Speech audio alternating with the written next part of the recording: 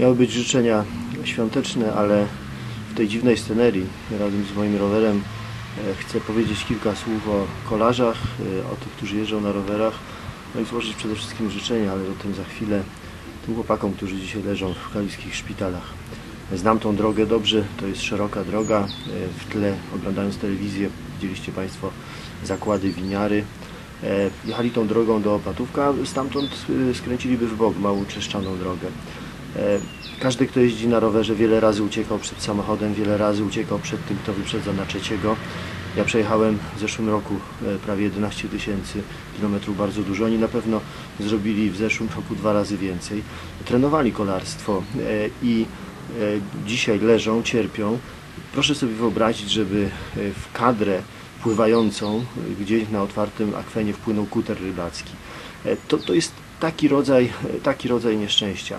E, Wczoraj był szok, e, oni cierpią dzisiaj, rodziny cierpią z nimi. Ja wierzę, że chłopcy wyjdą e, z tej choroby i ja i moi koledzy, którzy jeżdżą tutaj w okolicy na rowerach, obiecaliśmy sobie, że po prostu pomożemy im wrócić do sportu.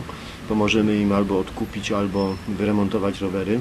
A jak trzeba będzie, pomożemy im w rehabilitacji.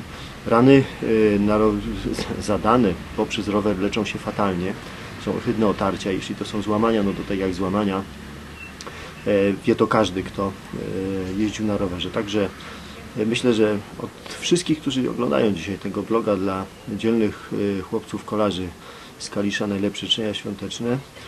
Powiedzmy sobie też najlepsze życzenia świąteczne dla tego nieszczęśnika, który zasnął za kierownicą. Coś tego człowieka zmusiło, że pracował całą noc, coś go ciągnęło do domu. E, Dzisiaj przeżywa swój dramat, będzie odpowiadał, ale e, tej świadomości, że narobił ludziom dużo krzywdy, nic z niego nie zdejmie. Życzmy mu też mimo wszystko wesołych świąt.